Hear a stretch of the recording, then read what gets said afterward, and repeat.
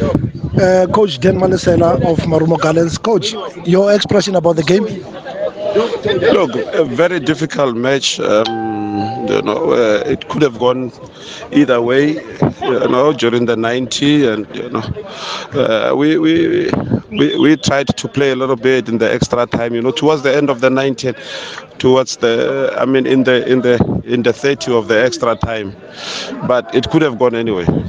Uh, and to be fair and to be honest, they had more chances than we did. You know, uh, well, some half chances and stuff like that. But we also had our chances, you know, uh, and we had the most glaring one right at the end of the match, which we couldn't convert, you know. But uh, one appreciates that in the end, we managed to to win the match, you know. Albeit via penalties, doesn't matter, you know. When you win a match, you win a match.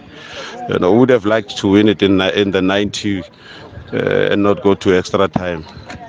You know, but appreciate the effort that the boys have put in.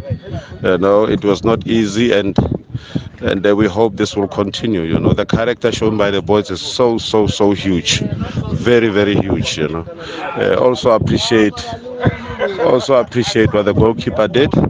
Know, and the bravery to say, "Hey, guys, I don't want you to miss anymore.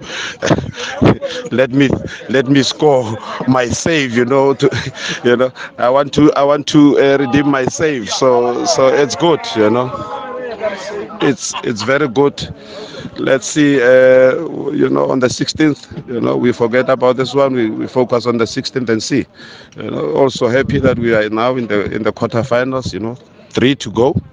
Let's see. And coach, now about the first uh, substitution due to the injuries that sustained by the players, uh, was it not a worrying factor to you? Very awkward, you know, very awkward. It's a first for us, you know, particularly where we have uh, muscle problems. We, we, we, usually don't have, you know. Um, so it was very awkward, but I think we managed it well. You know, the boys that came on, you know, uh, held themselves very well, and, and and you know, this is what is needed in a team. You you, you shouldn't rely only on specific people. You know, the whole team must be able to. Uh, to deal with situations as they come up. So, uh, let me put it in in a corner. Who do you wish to play? No, no, no, no, no. That doesn't matter. You know, um, uh, you know, you can't choose these things. You know, if if they if they were done by me, I would choose any other team. You know, but uh, you can't. You know, let's wait and see who who's in and how the draw goes, and we we take it from there. Congratulations, coach, once again. Thank you so much.